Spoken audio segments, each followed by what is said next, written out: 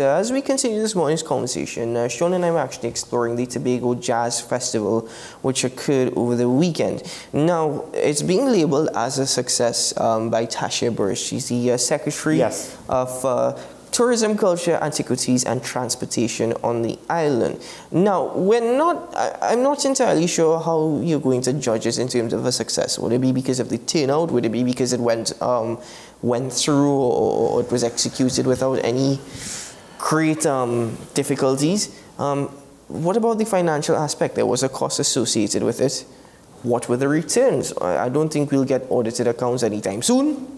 But all of that is part of it because uh, I think last week the uh, Chief Secretary, Farley Augustine, uh, so the article is dated last week, Thursday, um, he said 3 million was spent so far to host um, the Tobago Jazz Experience. Which doesn't seem that bad all in all if, if you have international acts and it's a multi-night, high-end production, um, hopefully with, with, you know, because quality costs money with regards to performing arts you don't have a second chance. You can't do a redo or a retake or a reshoot. This is live performances. And especially when you're trying to get something to the standard of the acts that you've, that you've brought in, you know, um, which the headliners, Boyz II Men, they've, they've been around the block. You don't necessarily want to uh, you don't want to, to, to, to, to make it look as though you don't know what you're doing and then word gets around and then it's harder to attract other acts that you so, might want to attract later on. So if we were to judge it in terms of the acts, all right, fine, fair enough. The next side is, is that... Well, well also to justify some of the expenditure. Uh, they're, they're,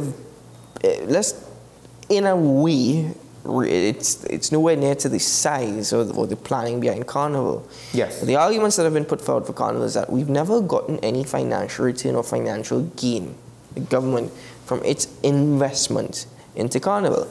It's the man on the street that really gets the returns, whether it be the, the simple nuts man, the simple vendor, the man who's rented the tents, and it's only very few people who benefit from tent rentals here in TNT anyway. Um, those are the people who truly benefit from Carnival. I think we saw the opportunity for young people in Tobago um, and young artists, emerging artists, um, to, to, to really show their skills and their talent. But on the flip side, if you are spending three million plus, which again isn't an entirely bad figure. No. But if you're spending that amount of money, what are the returns that you expect? Is the argument you're going to put forward the returns? People get to show um, uh, uh, their skills and talent the man on the street gets a job, um, and the Tobago economy, therefore, continues with its drive. It's not stagnant. Well, one of the things is at the end of the day, this was a, a, single, this is not like Carnival, which is spread out across multiple events. This was a singular event with tickets. I would assume the tickets would have helped, you know, bring in some revenue to at least offset those costs. Then there is the fact of the increased economic activity on the island, um, mainly only for a weekend. I, I, I get it, but it would be, uh, that's the thing, it's, that's hard to quantify. That's where Carnival comes in. Um, even if it's just the October Carnival that was over, over a week or a weekend in Tobago, it's hard to kind of really track all of, all of that uh, dollars and cents in the economy.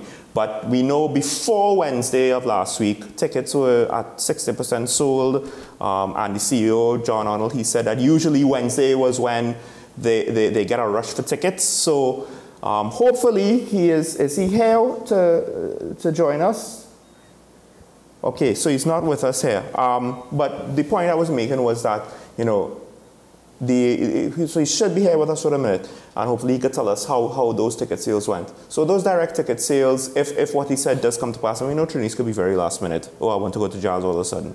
That, that, that should be good enough. I think for the most part, even if you just break even, it's a benefit to the economy because it adds, it adds more visitors, and more visitors just helps all of the things connected to what that means. Um, maybe not the air bridge because that has its own logistical issues. All right, I think Mr. John Arnold is uh, with us now. Uh, good morning, Mr. Arnold. Could you hear us? I think you might be muted, sir. Yeah, sorry about that. Sorry about being late there. such a it's, it's a, yeah.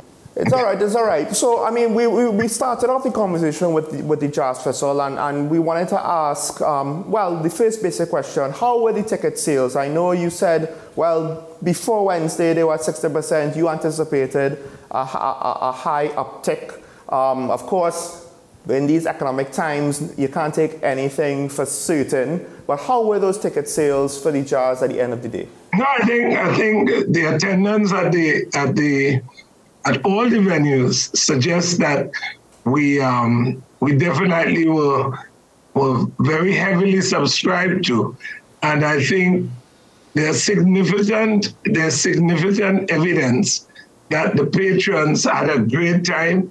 They loved the return, and at all the events, every single one, we saw the numbers from the time we went to gospel jazz on Thursday, and we saw the momentum just kept going until we had the great avalanche on um, Sunday, where it was quite obvious we were in the vicinity of maybe six to 7,000 um, persons, even more, I, I guess, because it was just clearly the three sections were heavily subscribed browns, VIP, and greens.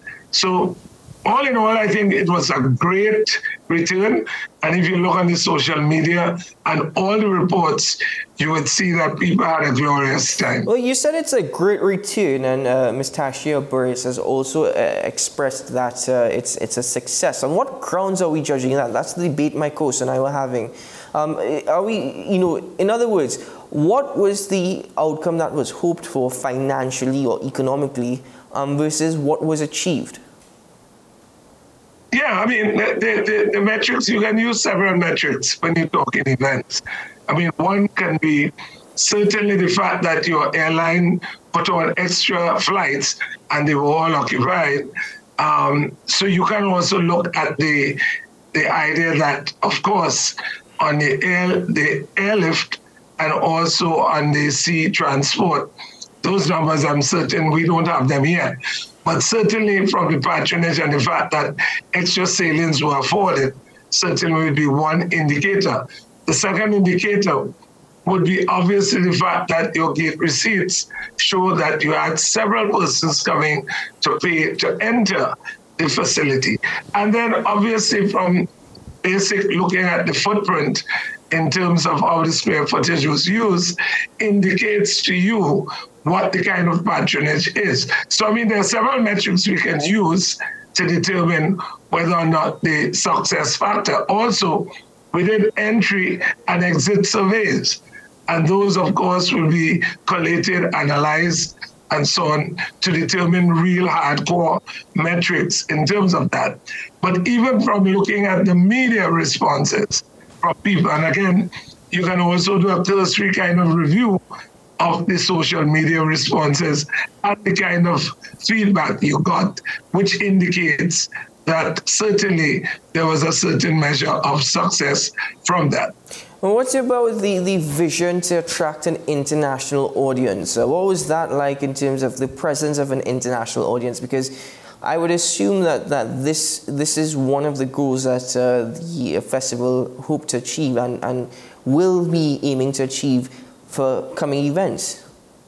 Yeah, so I think one of the fortunate things you have to understand about Tobago um, is that for Tobago, don't, don't ever forget the fact that part of our strategies has always been the domestic market.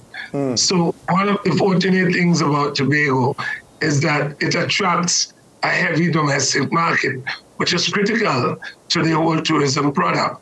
So even beyond that, of course, regional and international, this year there was not a big push, right? Because as again, coming out of COVID, you know, we had our challenges. So the domestic market was the key. And again, from from the past, we've seen where the research shows that 65% of the visitors to Tobago Jazz experience are from Trinidad. So basically, I think moving forward, as we look to that, there's several factors that will have to obviously move to deal with the international visitor arrivals. Um, one would obviously be airlift. All right, how do we do that? And the second consideration would be capacity in terms of assessing whether or not we do have the room the room capacity to deal with a, a massive influx yeah. of both domestic and international. Well, uh, one thing to ask, I'm not too sure how much this is um, under your purview, because um, you're directly with regards to the event, not necessarily with, with the wider happenings of Tobago itself. But was there any talks with regards to look, this is a major event on the calendar. Of course, we hope that it brings in patrons from outside Tobago to come and, and, and, and, and, and buy tickets and participate for as many nights as possible. Did Tobago seem as though it was busier? Was there, was there any thought that, look, once we get people here, even if the event is not that profitable, the, the, the influx into the economy would be worth it with all of these visitors? Or when you actually had the weekend, did Tobago just for the most part seem to be at the same level of energy and activity and, and, and with regards to people on the island? No, I, I, I think, as a matter of fact, I, I saw on another station where um, there were two visitors who actually came from, from uh, the US for the festival. And that was just one sample there. Um, I, I don't know what the metrics will say in terms of how many actually came for jazz. I know that person, that couple who was speaking on, on one of the programs indicated that. But I want to go beyond that. I think all of us are quite aware of any major activity in a space over a, a, a significant or a specific time does have spin-offs. I mean, there's no doubt that last weekend with a four-night event, we saw, and I mean, I know, um, we saw several visitors here. Uh, we had a free event called Seafood and Jazz at Buccoo, and that was a late addition. And it was just amazing the nightmare that, that was created in that area with traffic and attendance. It was oversubscribed. And my thing is, when you think about entrepreneurs throughout, right, um, and also the business sector, whether it be groceries, restaurants, gas stations, bars, artisans, everybody would have had a great time in the last week, right, benefiting from this massive um, event.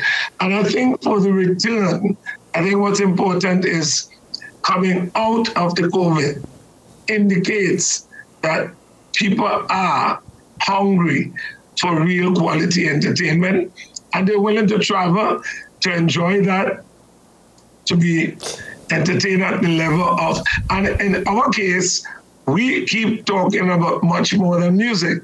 We want you to enjoy other elements of Tobago, pardon me, that are not just music oriented, but in terms of destination orient, orient orientation.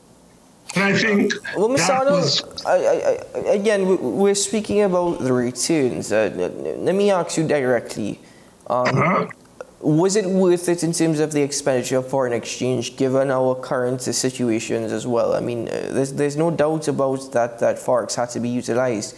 Uh, was it really worth it? Was was it something that you can safely say, I'm definitely going to go forward again given the results of this. Bear in mind, this is the first first jazz festival after so many years. I mean, we have to be fair in that sense. Not so many. It's just three years. So don't make it sound like a long time.